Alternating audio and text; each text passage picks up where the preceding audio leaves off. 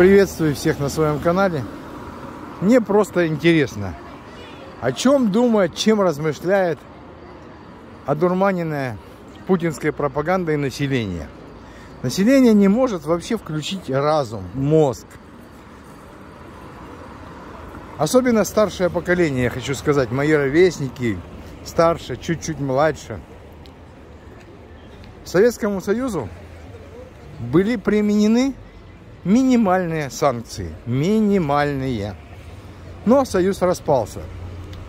Проклятый Запад, который вы так называете, не дал, чтобы на территории войны, э, Союза началась гражданская война помогли продуктами, всем помогли, и распад прошел практически бескровно, благодаря только Западу, но никак не России и еще кому-то.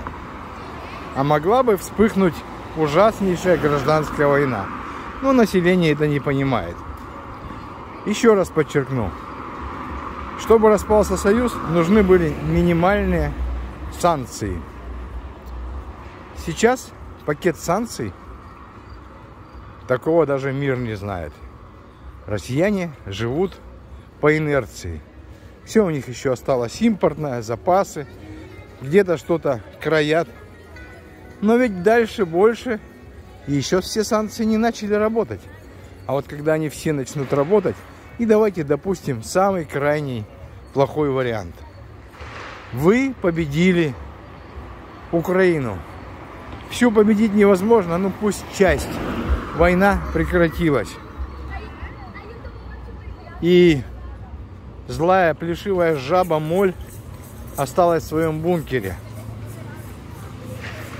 Это будет немножко хуже, чем Северная Корея. Хуже. При этом миллионы и миллионы вооруженных, озлобленных мобиков, росгвардейцев, ментов – что они могут натворить в этой стране?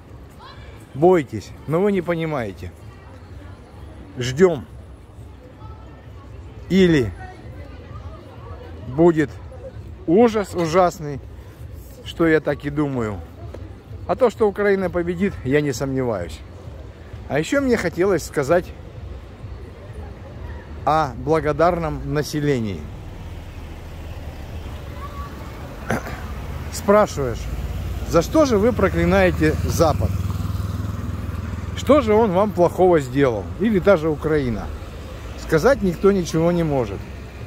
А вот то, что вы неблагодарные, это сто процентов. И когда говоришь о том, что в 22 году не дала Америка умереть с голоду, а еще, оказывается, в 1869, по-моему, голод был в России, и тогда тоже Штаты помогли. В 30-е годы всю промышленность построили американцы. Во Вторую мировую, если не ленд-лиз и не помощь Запада, но э, Союз бы проиграл, однозначно. Не проиграл совсем войну, потому что такую огромную территорию с бездорожьем захватить невозможно. Ну, до Урала бы точно но неблагодарное население это не помнит. И что в 90-е годы привезли продукты на 47 миллиардов долларов безвозмездно. Ватники, пришибленные пропагандой, кричат, что за все заплатили. Кто-то кричит в двукратном размере золотом. Золото это в каждой, в каждой речи. Но никто, ни один не может привести ни одну никакую цифру. А мне хочется вам, пришибленных пропагандой, спросить, а как вы думаете, почему путинские пропагандисты и сам Путин ни разу, никогда не сказал про эту помощь, якобы, как вы говорите, что она была оплачена золотом, они молчат. Почему? И только вы, только вы. Потому что вам засылают информацию. Потому что официально, так сказать, нельзя и невозможно. Это привлекут сразу же к ответственности, к большой, за ложь. Поэтому ни один пропагандист ни в одной своей речи никогда, нигде не упоминает ленд-лиз. Вы задайте на прямом эфире им вопрос про ленд-лиз. Я думаю, они просто отвечать не будут. Потому что врать такое нельзя, их привлекут, а ответить честно не смогут. Поэтому территория, где мне не повезло родиться, самая лживая, самая подлая. И все те, кто на ней живут и поддерживают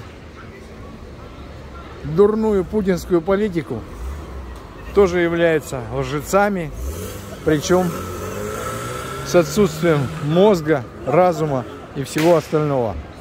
Как-то так.